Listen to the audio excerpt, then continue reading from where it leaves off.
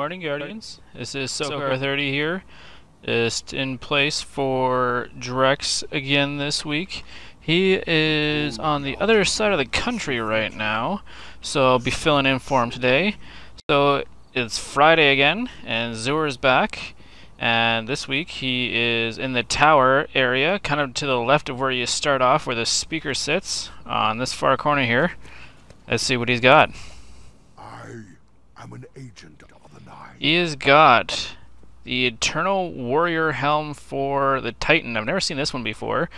It does more super energy from non-guardian kills, replenish health when you pick up an orb, and provides unstoppable for Fist of Havoc. Pretty good for a Titan there. It uh, looks like it comes with it's part of the House of Wolves expansion. Pretty sweet one there.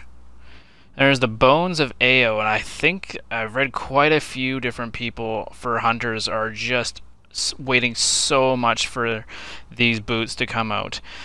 The main thing they can do is it upgrades double jump with additional jumps. You get three jumps with your hunter. That can just totally change everything with your hunter. Then we have the Voidfang vestments for the Warlock, which been out for quite a while and the last word hand cannon.